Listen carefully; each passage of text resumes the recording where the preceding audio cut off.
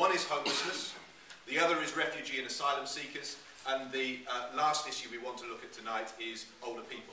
In reality, I suspect lots of those issues will start to collide. But that's the, the, the focus we're going to have this evening, and we're going to divide the debate into three equal sections. And the first of those is going to be homelessness. And John, I don't know if you want to start us off with our first question. Yeah, definitely. I think Mohinder might have answered this in his first, uh, his first minute, actually, which is good. At least you're all gentlemen. Um, the first question, this is a pre-prepared question that each of the candidates have been sent. There's one for homelessness, one for refugee asylum seekers, and one for uh, older people. And the question is, there are now 8,500 people on the City Council's housing register. With a shortage of affordable housing in Leicester, there are real concerns about how we are going to provide decent and affordable homes for those in housing need. How will the candidates address these concerns? Um, who wants to start? Rick, perhaps with your um, introduction around housing, you could perhaps kick us off with this one. I think um, we have to be realistic. We have to be realistic in life to go anywhere. Let's say where these homes probably won't come from. They probably won't come from the City Council, except that the City Council can work more efficiently. It can definitely reduce the number of voids and it, it can be more opportunistic in its approach. Secondly, they won't come from social registered landlords, housing associations, in anything like the numbers they have come in the past because their funding has been stopped or reduced in fairness. They're trying to find different ways to deal with the problems, but they're big problems. And I've done a lot of work with housing associations over the decades. What we have to do, therefore, is accept and acknowledge that the private sector is the massive provider of housing and therefore can be a massive provider of low-cost housing. I've been working on an initiative with the City Council for 18 months. I went to them and said, here are 450 units, not mine by the way, I act as an agent, not as a principal. This is what you, City Council, have to do for those 450 houses to be available to reduce your housing list. Uh, this is what's happened in Salford, this is what's happened in the West Midlands, this is what's happened in London Borough. I won't bore you with detail at all, but basically the City Council has to take a head lease, land prices are at very low levels, contracting costs are at relatively keen levels. If the City Council will take a lease, then you can, City Council, have these units for your housing. Sadly, this City Council was unable to get their mind around it. But I believe that this is a massive potential area. And what I have undertaken to say is that within 24 months of being mayor, I will get 1,000 people off the housing list by that method. Okay, thank you, Rick. We've got a clear focus there on better use of the private rented sector. Mohinder, I noticed that you wanted to come in at the beginning and I missed that. Would you like to, um, yeah, com like to comment on Rick? I firmly believe that it is the duty of the local government to provide housing to the people, those who are homeless. They have the fund. They got around about two billion pound a year income coming in and surely money can be saved and be channeled to build housing. There are so many properties empty, which is owned by the city council. There are so many properties empty, uh, privately owned. They can be uh, converted into the flats or cheap housing so that the people can have accommodation. I firmly believe that if I'm elected, I will look into that problem before anything else because we are, the Unity for Peace and Socialism is committed against the curse. We are committed against uh, the homelessness. We need to do something immediately soon after the election. Mohinder makes an interesting point about better use of empty homes in this uh, discussion, this, this debate. Do any, does any of the candidates have a, a, a strong view about how we can make better use of empty homes to address some of the, the housing issues in the city? I'll, I'll that Gary. because, of course, um, we had a project that was doing just that.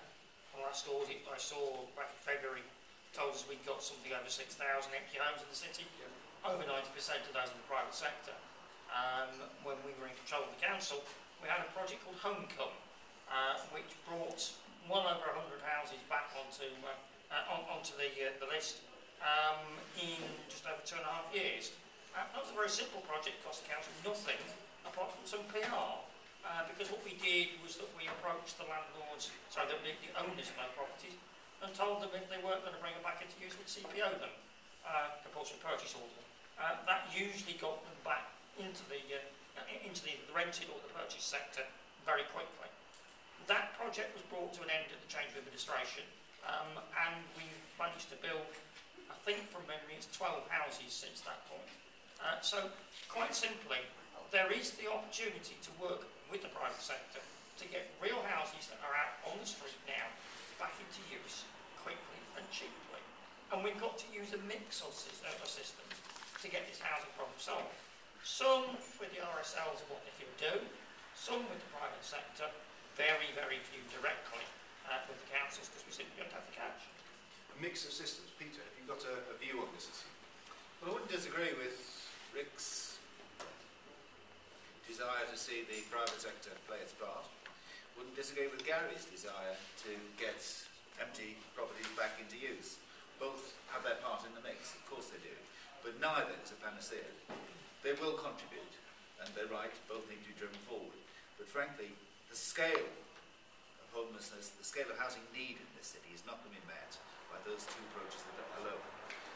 The scale of what we've got is one that needs a major drive by the council to bring land into availability for new development and to work with social housing providers itself if it can provide them, social housing providers if they can't, to actually make new homes available for rent. Because the scale of what faces us will only be addressed if we have those new homes available and we actually increase the housing stock very substantially by making both the land and the finance to build available. And the mayor is going to be uniquely well placed to lead that campaign. And I'll just digress for a moment to, just to make this point that the mayor is going to be more than just a council leader. The mayor is actually going to be somebody who can speak out, not just for the council, but for the people of Leicester, because they have that mandate to do it. And this is a classic issue on which we need a mayor who is able to speak out effectively at the local and national level on behalf of the city. Is Peter aware But- that no, many, social wait. housing providers are fighting for their own Is, existing is Peter Soulsby aware? Is Peter Soulsby aware that it was Margaret Thatcher that sold off the housing stock? It was Margaret Thatcher that did this, and your government is no better. I understand that Tony Blair has 11 homes, the cheapest of which is £900,000. This is not Labour. This is new Labour. He cannot go bashing on about Labour because Labour is finished. It's a misnomer. I think. I think He's responsible. Can, can I just his, in his tenure, he did nothing about this. Just, just very briefly, I think, David, my record will show I'm no friend of Tony. I don't want to hear that. I think, I think on Ah, the. but you didn't vote. You didn't vote. Every time I think on the issue of. I think, you cannot sit on the fence any longer. okay, gents, I think on the issue of affordable housing in the city, we all recognise we have an absolutely key, critical issue right now with 8,500 people in housing need on a housing register that we need to draw a line on it and move forward with that And how many homes does the Queen have? What, what I would like to do, before I open it up to How the many other homes does she need? before I, before I open it up to some of the other people, I'd just like to get a sense of what people in the audience think about the comments you've just heard. I think a lot of money's wasted by other things as well as that, what you just said. Yeah? A lot of money goes to these parks, things like this, yeah? All right, you need the parks and that, but all the rubbish they put on it and the burn things, it's just a waste of money. Yeah. We've seen the flowers and everything. So this is about better prioritisation Yeah, of what we use. Um, before I come to you, um, Carl.